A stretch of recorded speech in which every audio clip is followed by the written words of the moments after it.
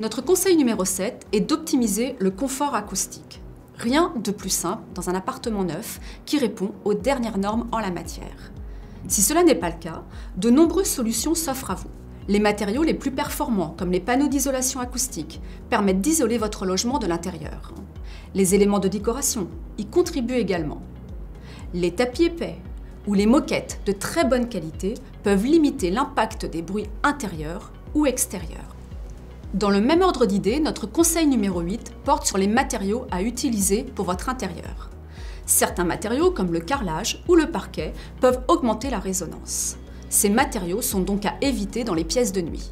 A l'inverse, le parquet et les couleurs claires et chaudes renforcent le sentiment de convivialité.